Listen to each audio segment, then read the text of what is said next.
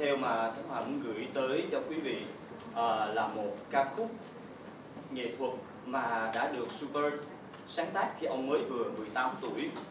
À, ca khúc nghệ thuật này là một câu chuyện à, kể về một đêm rừng khuya mưa gió gồm có những nhân vật chính như sau có ông bố có một đứa con và có một nhân vật mang tên là Eli là một vị thần bóng tối sống ở trong rừng chuyên đi bắt cóc những linh hồn của những em bé.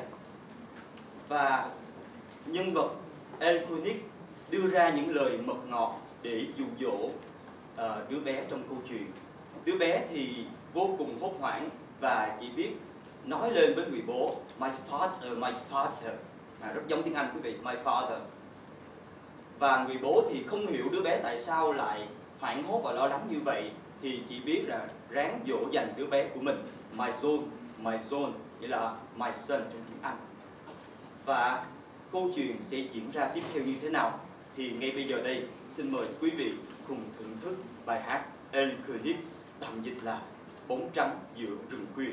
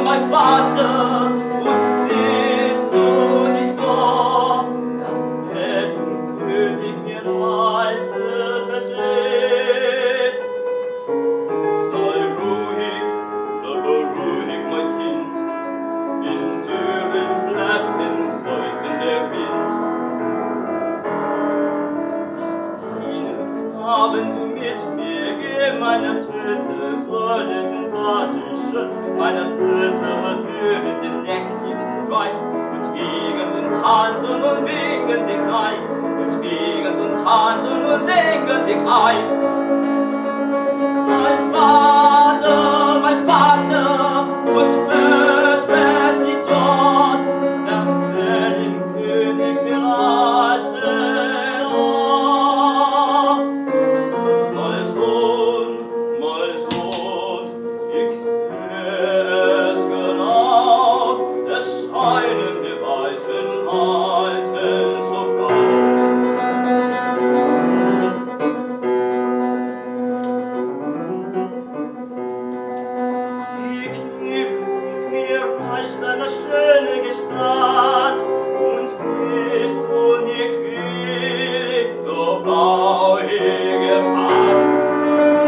봐.